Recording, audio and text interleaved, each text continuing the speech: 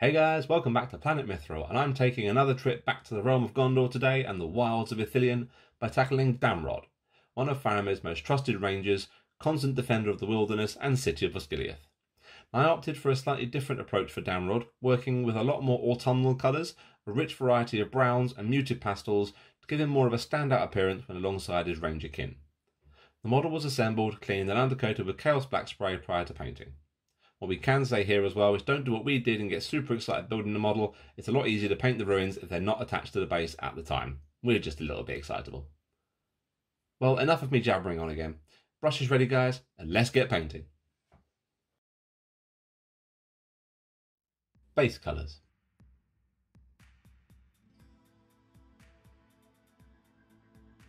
I'm going to start by base coating the face with Bugman's Glow.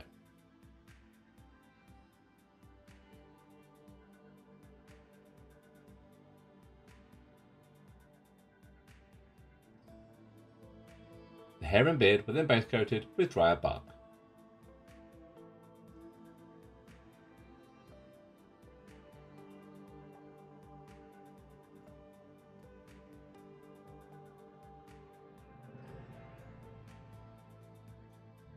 Damrod's tunic was base coated with a three part mix of Doombull Brown, Rhinox Hide, and Abaddon Black.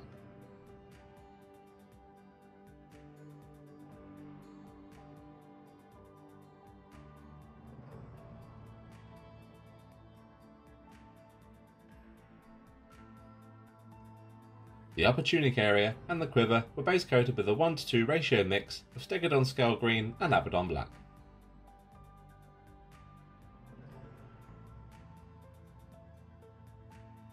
The cloak was then base coated with a 4 to 1 ratio mix of Mournfang Brown and Gal Vorbak Red.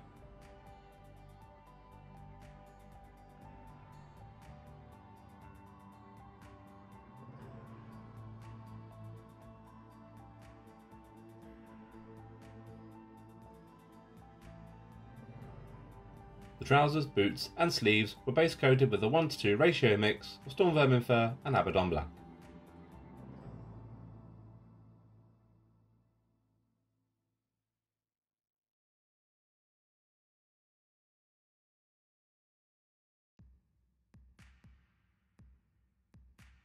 The gloves were then carefully picked out using Rhinox hide.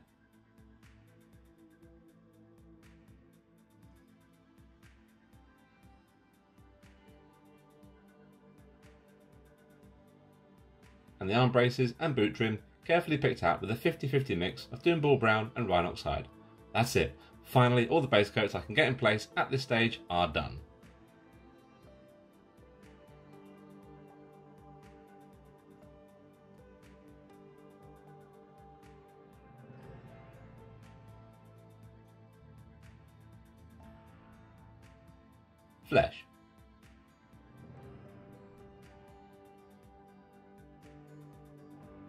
Face was then layered up with a mix of Bugman's Glow and Cadian Flesh Tone.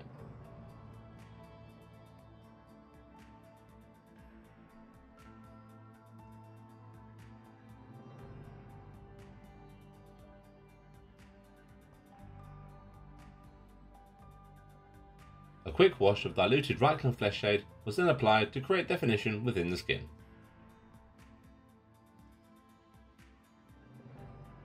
Once the wash was dry, continue layering up the skin tones using pure Cadian flesh tone, leaving the wash showing in the recesses.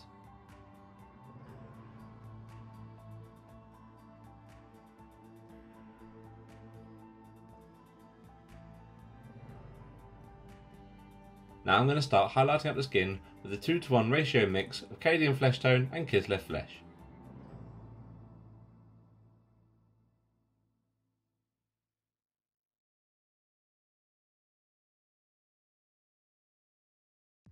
Increasing the concentration of Kislev flesh in the mix for the final highlight stage.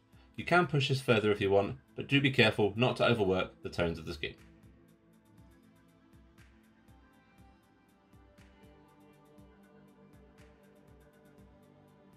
The eyes were then painted in using Abaddon Black.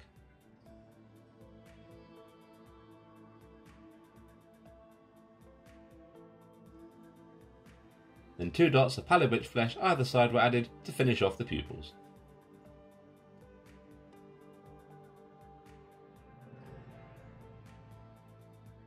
Hair.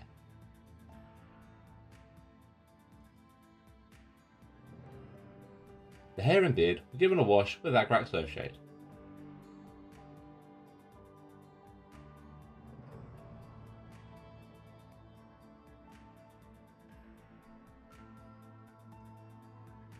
Want to try and desaturate Damrod's hair a bit to contrast the other browns, so to do this I started layering up with a 4 to 1 ratio mix of Dryad Bark and Baneblade Brown.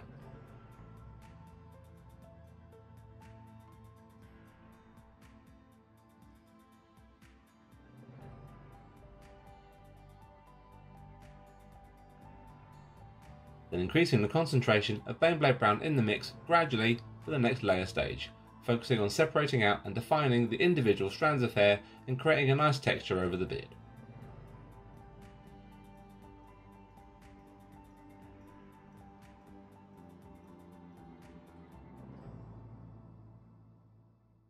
To start the highlights, add Kislev Flesh in the mix and continue putting the definition of your layers further, keeping your highlight application super tight and controlled to get the best, most authentic flow to the hair.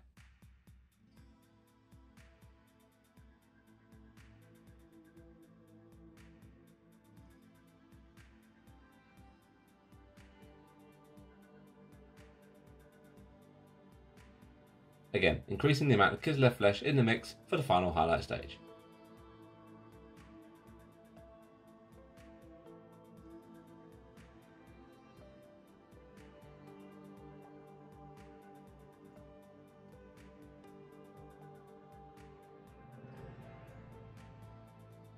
Once you're happy with how this looks, a glaze of thinned down Seraphim Sepia was applied all over.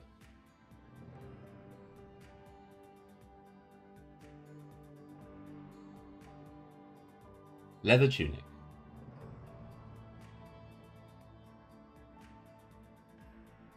I want to try and create a realistic, worn look to the tunic, so the mix gets slightly complicated as I progress through here, but to start off with, apply a manual, targeted shade with a 50-50 mix of Rhinox Hide and Abaddon Black.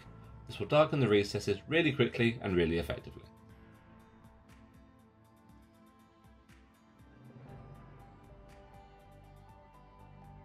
The shading was then pushed a little bit further by applying a thorough wash all over the tunic with Agrax Earthshade.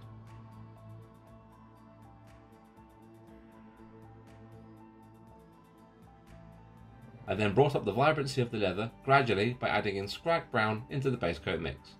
The richness of the Scrag Brown combined with the quite dark, chocolatey brown used for the base coat will help reinforce this genuine worn leather look that we're trying to get.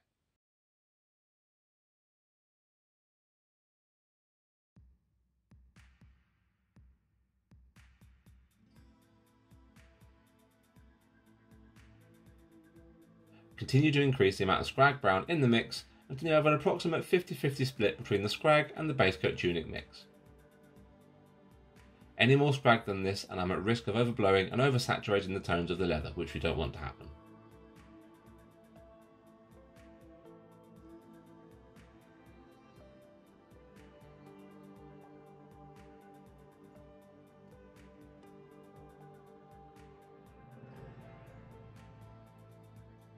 To get that slightly more cracked and gnarled look, whilst also complementing the tonal progression, I'm going to start adding Ungor flesh in an approximate quarter to third amount to the overall mix. This stage is kind of down to your preference and how much you want to bring up the finished tone and look of the leather.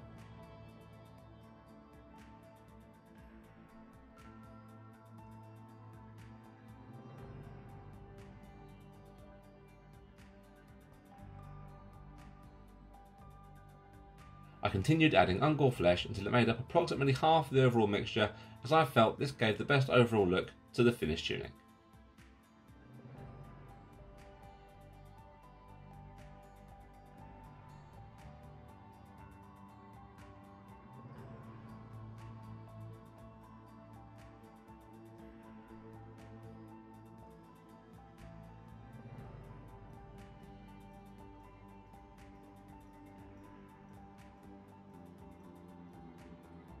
Finally, a glaze with Reikland Fleshshade was applied to tie in all the layers and highlights together.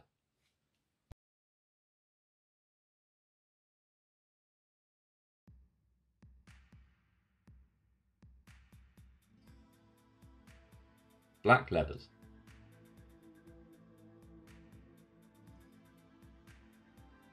The quiver and black leathers were given a wash using Nuln oil.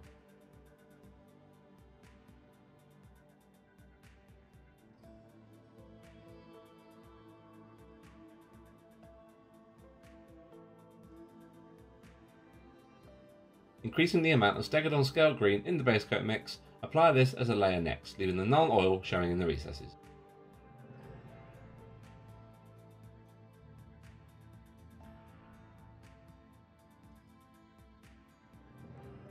Here you can see I'm slowly bringing the tone of the blacks up very subtly by adding in Baharroth Blue, which will react and complement the Stegodon scale in the base mix whilst also naturally lighting the overall mix.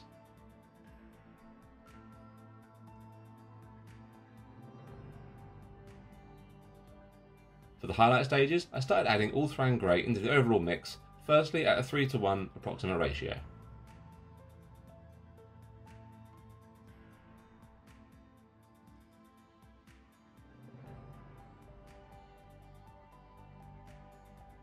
then gradually working my way up to a 50-50 split, roughly with the gradual addition of more Ulthuan in the mix.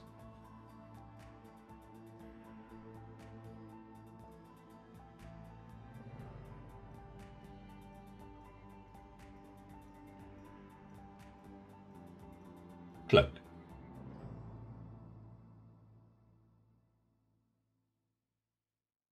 Now for yet another exercise in brown variation.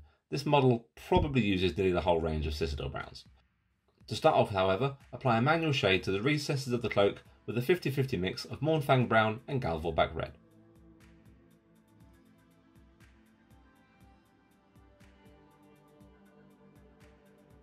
Now I'm jumping straight to the addition of Deathclaw Brown in the mix, which is quite a stark addition, but this will bring up the tone of the cloak quicker and provide a nice degree of contrast against some of the more muted areas of brown that have already been finished.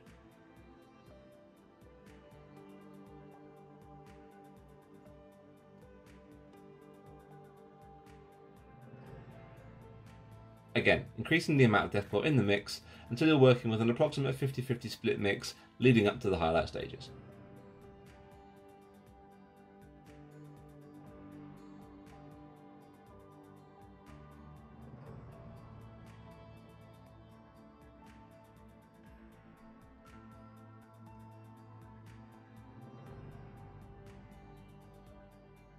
The cloak will now start showing a really lovely natural orange look, which I want to try and reinforce and brighten further, but without overpowering the tunic and the other leathers. To do this, I added some Lugganath orange into the mix. This will have the same effect that the Baharroth had in the black leathers, and will naturally lighten the hue of the cloak, leading into the final highlight stage.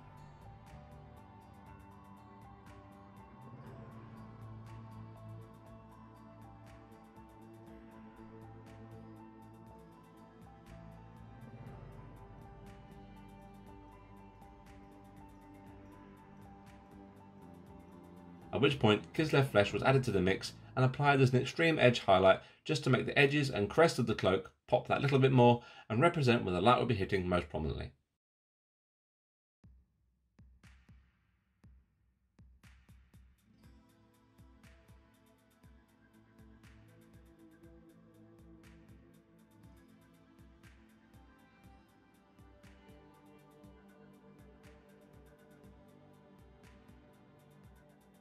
When you're happy with how the cloak is looking, apply a glaze all over with heavily diluted Agrax shade.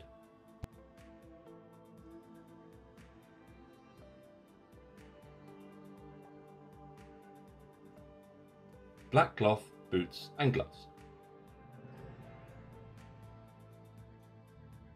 Conversely to the previous stages, this stage has a relatively simple recipe.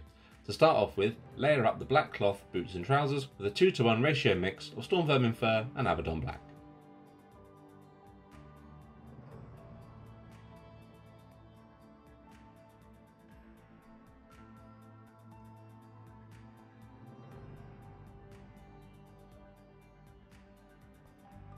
Continue adding Stormvermin in gradual increments for each layer stage until you reach the final highlight stage, which will be using pure Stormvermin Fur.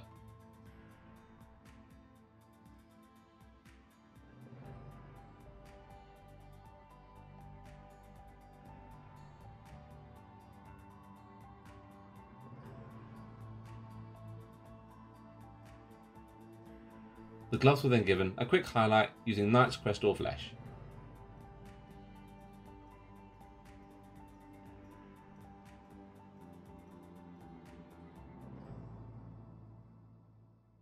And were then washed very quickly with Agrax Earthshade.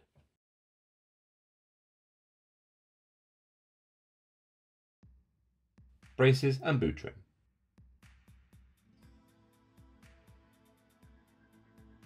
The braces and boot trim were given an initial wash with Agrax Earthshade.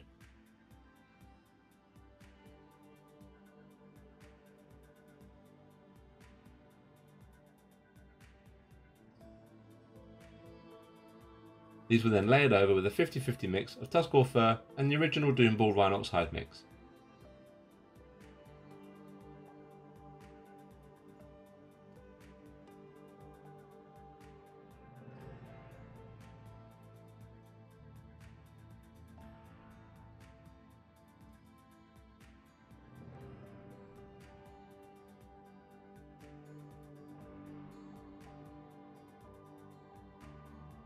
Then progressing onto the highlights by adding Screaming Skull to the mix, focusing mainly here on picking out the embossed detail over the top of the braces.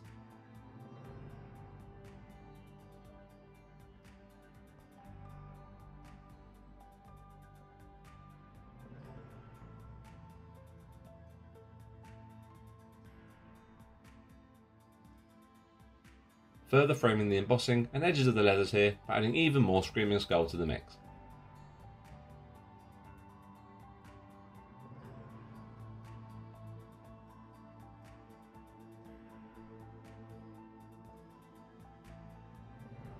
Straps and wood.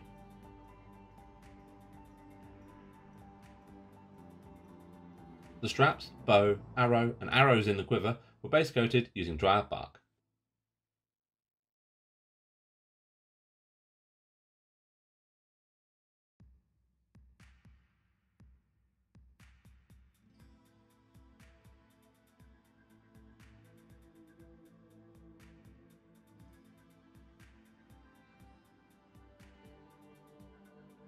Highlight was then applied using pure Gawthorpe Brown. At this stage too, I created the subtle wood grain effect down the length of the bow, applying the paint in thin, almost random streaks.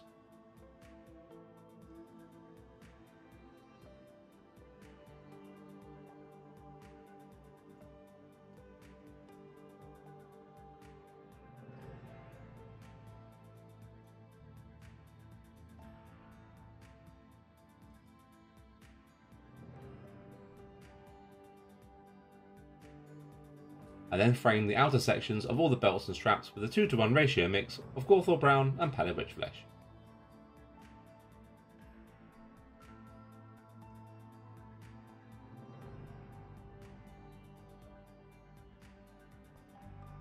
Metals and bronze.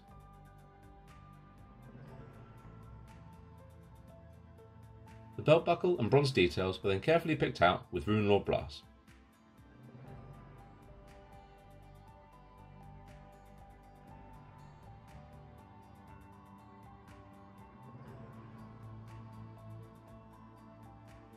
Followed up with a quick, very targeted wash with Agrax Earthshade.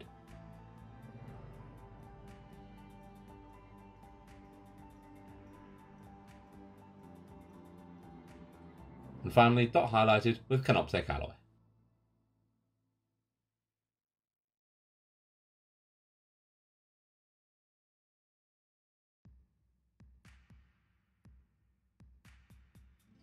The arrowhead and quiver details were painted in carefully using Leadbelcher.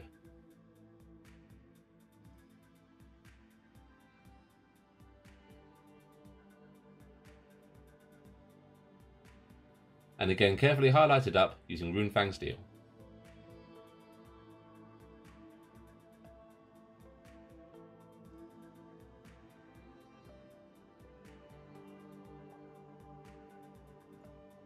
Arrow fletchings.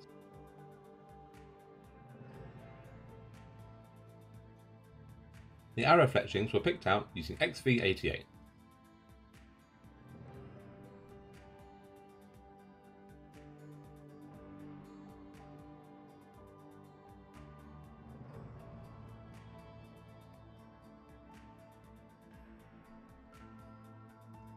Layered up next using Zamesi Desert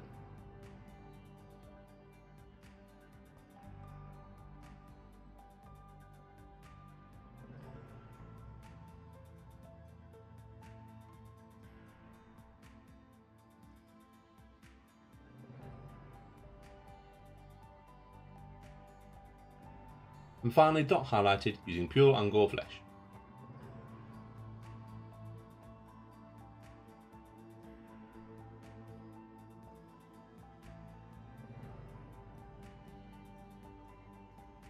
Scenic Base.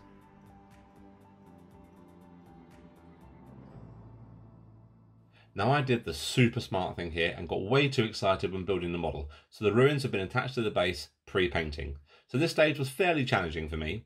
If you've done the same, all I can advise is take your time and apply the paint super carefully here. The ruins, however, were given a base coat with a 50-50 mix of Rakarth flesh and Greyseer, applied in several thin coats to get nice smooth coverage.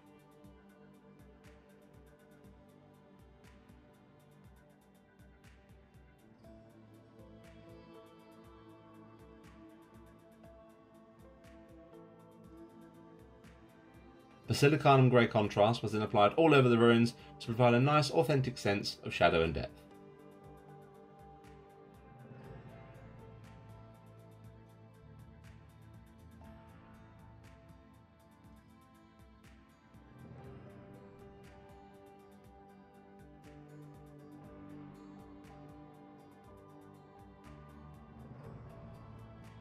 A heavy dry brush was then applied by adding pallid wych flesh into the base coat mix. Now we were limited to using only a medium dry brush here, mainly because of the aforementioned super smart move with the ruins. If they are separate, however, a larger dry brush will give you slightly better coverage over the brickwork.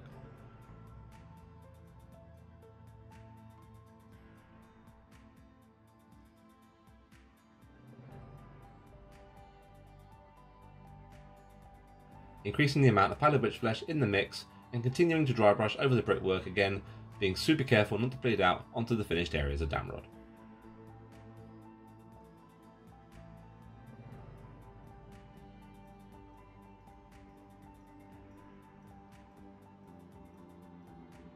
Finally, a super light dry brush was applied by adding white scar into the overall mix.